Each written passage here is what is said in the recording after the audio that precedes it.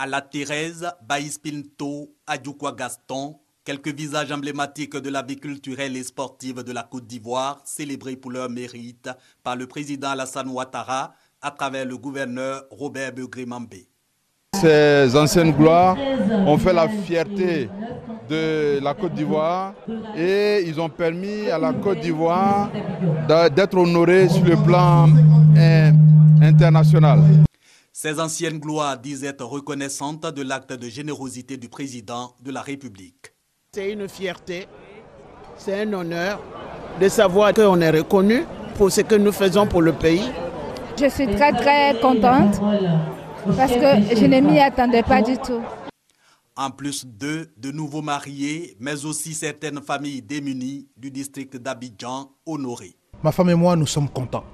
Et nous restons convaincus que le mariage vient de Dieu. Parce qu'il faut Dieu pour que, après six jours de mariage, le président de la République, à travers le gouverneur du district d'Abidjan, puisse euh, faire de nous leurs invités à un dîner gala où il faut honorer les anciennes gloires, où il faut honorer les couples de façon symbolique. Vous savez, le président a parlé et il a fait ce qu'il a dit. Il s'est étendu jusqu'au fond des différents quartiers